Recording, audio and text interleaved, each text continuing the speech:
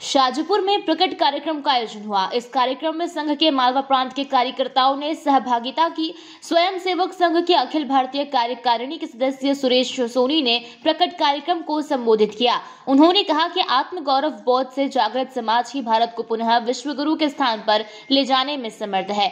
शक्तिशाली भारत में विश्व का कल्याण निहित है। अतः देशभक्ति, सामाजिक दायित्व, बोध, संवेदनशीलता और विश्व कल्याण की भारतीय संस्कृति के बोध जागरण द्वारा प्रत्येक प्रत्येक नागरिक को राष्ट्र मंदिर के पुनर्निर्माण में लगना होगा।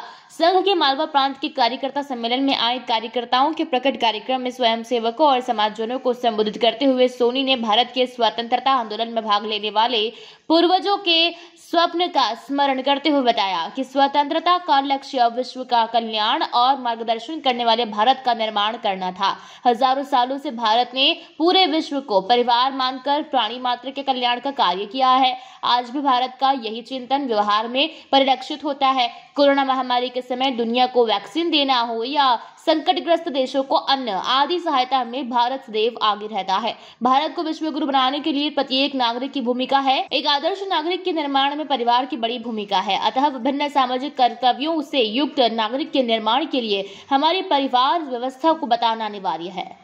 शाहजपुर से दिलीप सुराष्ट्र की रिपोर्ट।